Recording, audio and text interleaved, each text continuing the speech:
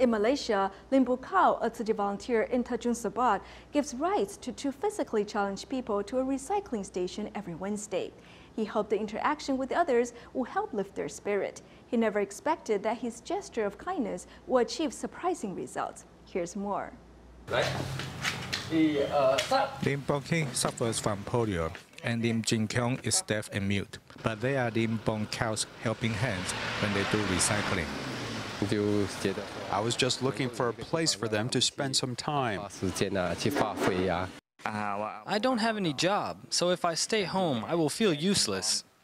Lim Boon Kaw drives them to this recycling station out of kindness.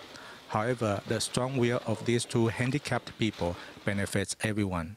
Even Lim Boon Kaw himself has become more attentive to details.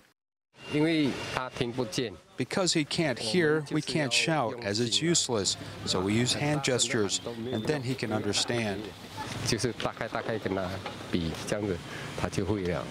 One act of kindness draws more people to come to this recycling station in Tanjung Sepat, filling it with love and positive energy.